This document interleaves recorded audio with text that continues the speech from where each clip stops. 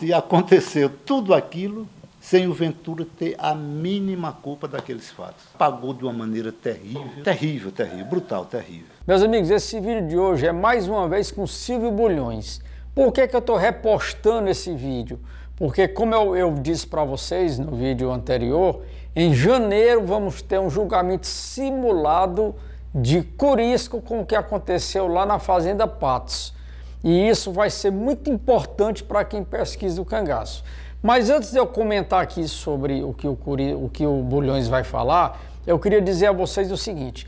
Esses dias, por conta do vídeo que eu postei falando da Fazenda Patos e falando também sobre Angico, com o que o Panta falou a respeito de onde Adrião foi enterrado. Fomos fazer o funeral de, de do soldado que morreu, uhum. foi enterrado em Piranha. Da volante, só morreu um, o Adriano.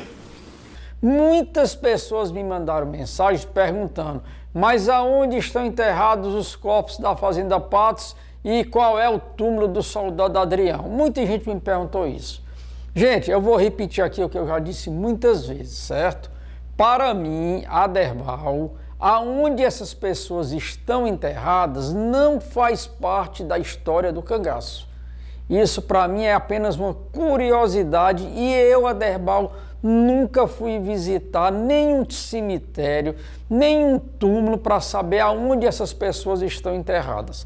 Existem muitos outros colegas pesquisadores que estudam além da época do cangaço que já fizeram isso.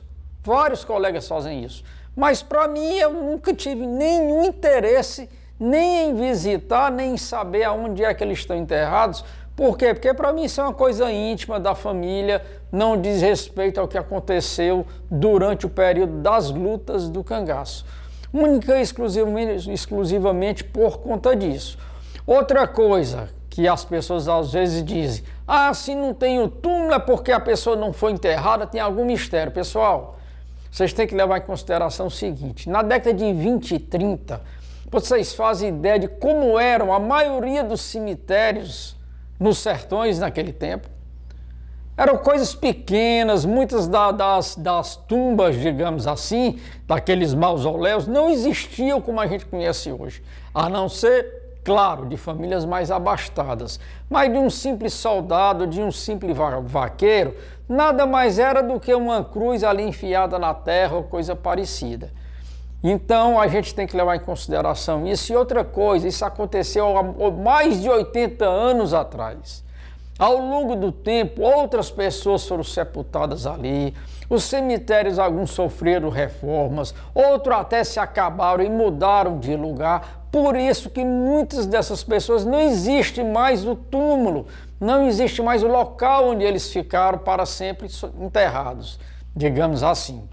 Outra coisa, uma pergunta aqui que vale para todo mundo. Quem de vocês sabe aonde está enterrado o bisavô ou tataravô de vocês? Quem de vocês vai fazer visitas a esses túmulos? Eu acredito que pouquíssimas pessoas. O que eu estou dizendo aqui é uma realidade. Então imagine pessoas que foram enterradas há mais de 80 anos, como é que se localiza com facilidade esses túmulos. Eu acho muito difícil Alguns locais a família cuidou tal, mas a grande maioria ficou perdida realmente aí no tempo e no espaço. Então, apenas dizendo aqui para vocês o que é que eu penso em relação a isso. E nesse vídeo do Bulhões é mais para quê? Para manter a, a chama acesa para esse julgamento que vai acontecer lá na região. Possivelmente o julgamento vai ser em Piranhas, mas vamos ter uma visita técnica na fazenda, na casa que já está recuperada para comentar e discutir tudo isso que aconteceu ali. Julgamento esse que vai ter juiz, vai ter advogado de defesa, vai ter promotoria, vai ter júri, vai ser aberto ao público, qualquer pessoa pode participar, portanto que ninguém fique esperando um convite pessoal para participar do evento, porque vai ser aberto ao público, pelo que eu estou sabendo, e é mais ou menos por aí. E o que é que, que o Bulhões fala aqui que é de importante, que com certeza vai ser abordado lá? Primeira coisa é a vingança e a cachaça. Curisco tinha, digamos, o código deles, eles tinham códigos. E quando se podia, que era difícil o cangaceiro poder executar uma vingança, mas quando eles podiam fazer isso, eles faziam, mas era coisa rara. Então ele puxou para si a história da vingança, de vingar o grande chefe, e a cachaça também ajudou em toda a barbárie que aconteceu ali. Vamos ouvir aí o Bulhões. Depois de oito dias, papai convoca a turma que estava lá. Venham cá todos vocês. Eu mandei comprar, tem aqui cinza, vinho, tem cachaça. Vamos calibrar bem a cabeça que hoje vai ser a vingança que nós vamos fazer. Vamos vingar o compadre Lampião e nós. E foram. Perdão, há algum comentário da, da, acerca de um cangaceiro chamado Querosene que teria um chamego com a mulher de Domingos Ventura? Não, não, não. Ela nunca me comentou isso. Nunca comentou. Se houve esse fato, eu não sei. Bom, Bem, então é resultado que eles atravessaram o rio, começaram a beber 11 horas da manhã. Quando foi por volta de 4 para 5 horas, eles vieram, chegaram na margem do rio, atravessaram o rio. Do outro lado já tinham cavalos esperando, e coube a mamãe um jumento lerdo que só o diabo, entende? Eles seguiram a viagem, como a mamãe estava com um animal muito lerdo, ficou um dos homens com mamãe, para ir acompanhando mamãe, e os outros foram na frente. Quando papai chegou lá, bateu na porta, que o Ventura abriu a porta e disse, Capitão Curisco, viu a desgraça que fizeram? Ele disse, leve, leve esse peste e arranque a cabeça. Aí os comandos levantaram, foram e decapitaram. Uma coisa que vai ser abordada também, muito embora o, o julgamento vá ser de Curisco, mas Dadá foi quem salvou a vida daquelas crianças que iam ser mortas também. Ou seja, aí eu acredito que no julgamento já vai dar uma, uma confusão grande, digamos assim, onde vão aí já pela subjetividade. Aí ele ia matar as crianças, isso, isso, aquilo outro, e Dadá não deixou, era um monstro por conta disso, enfim. E a cachaça, mais uma vez, vai estar envolvida nisso. E que a Dadá disse, como vocês já devem ter visto, que ela ficou com medo de Curisco. Teve um enorme medo dele quando ficou na frente dele com o parabelo na mão para impedir que ele matasse aquelas crianças. Então isso é uma coisa muito polêmica também. Leve esses dois bobônicas, que aí o pessoal ia, ia, chegando na sala, leve esses dois aqui, que eram dois filhos dele. Quer dizer, as duas meninas. Nessa altura a mamãe chega. Quando a mamãe chega, diz que é das meninas, que a mamãe gostava muito delas. Aí ele diz, já mandei arrancar a cabeça dessas duas pestes disse, agora esses aqui, leve e arranca a cabeça, que eram três crianças. Ele estava cheio de álcool. Alucinado. Alucinado, vingando a morte do amigo chefe, comandante em chefe de todo o cangaço, e a morte dele mesmo, que seria ele o morto, né? Na história. E Curisco, como todos sabem, era um homem duro. E Dadá também era dura, a gente sabe disso. E por que que Curisco aceitou que Dadá impedisse aquelas mortes?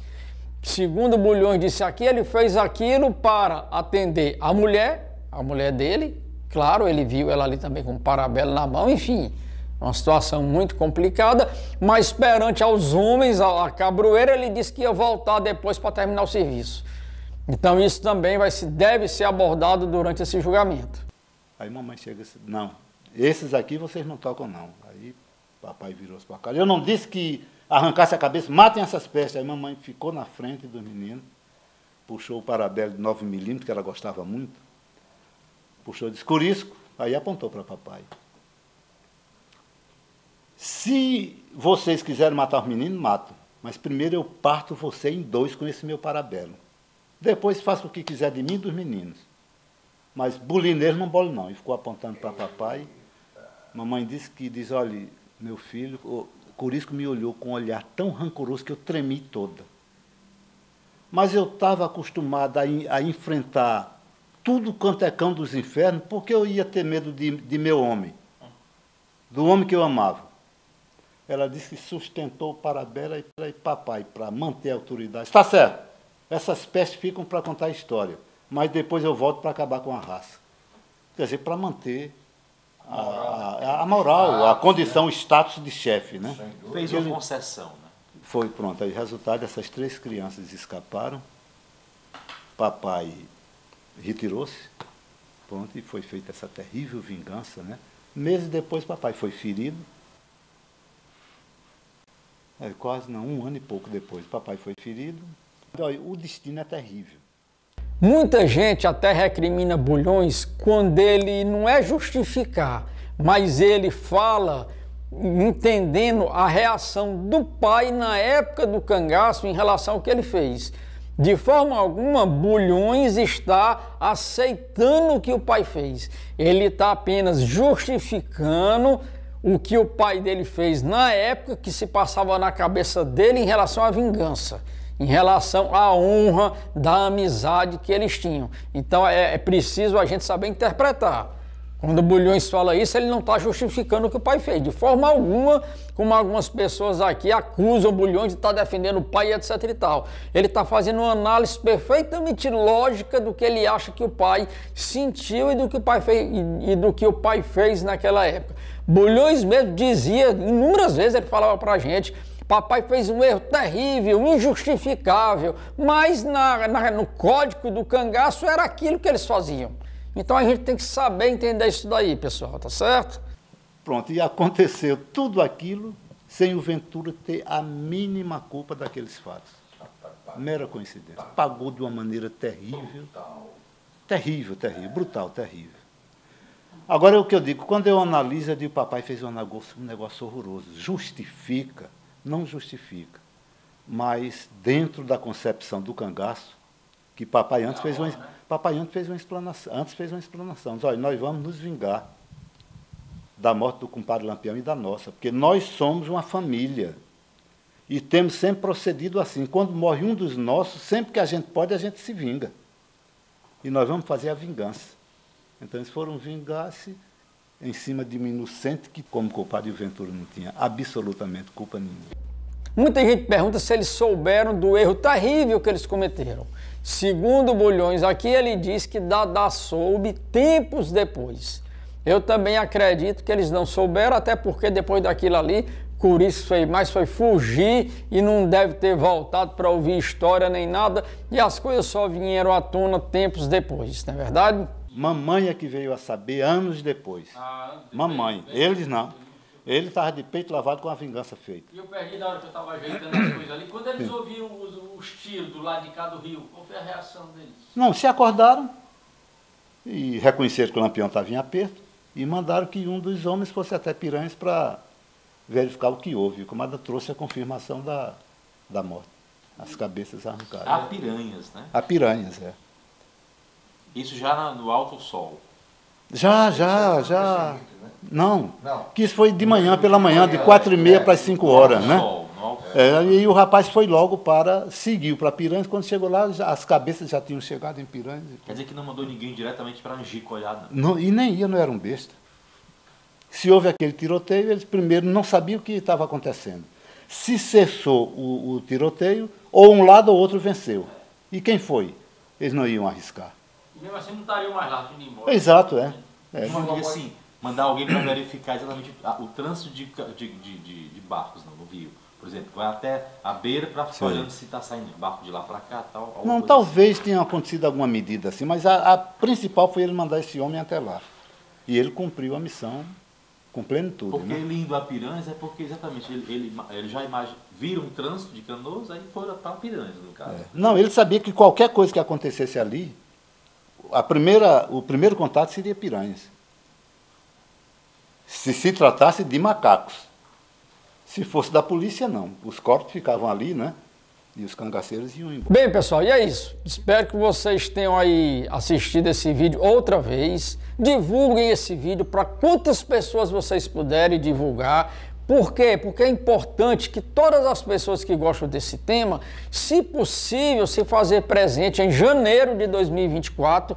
Se eu não me engano, a data lá vai ser dia 25 e 26, onde acontecerá o julgamento e uma visita técnica lá na fazenda que está toda recuperada. Então vamos divulgando isso, espalhe para o maior número possível de pessoas que vocês conheçam, aquelas pessoas que gostam de estudar o tema, porque acredito eu que assim como o julgamento que já aconteceu em Serra Talhada, já aconteceu em Mossoró, esse que vai acontecer lá em relação à Fazenda Patos, vai ser importantíssimo. Valeu e tamo junto.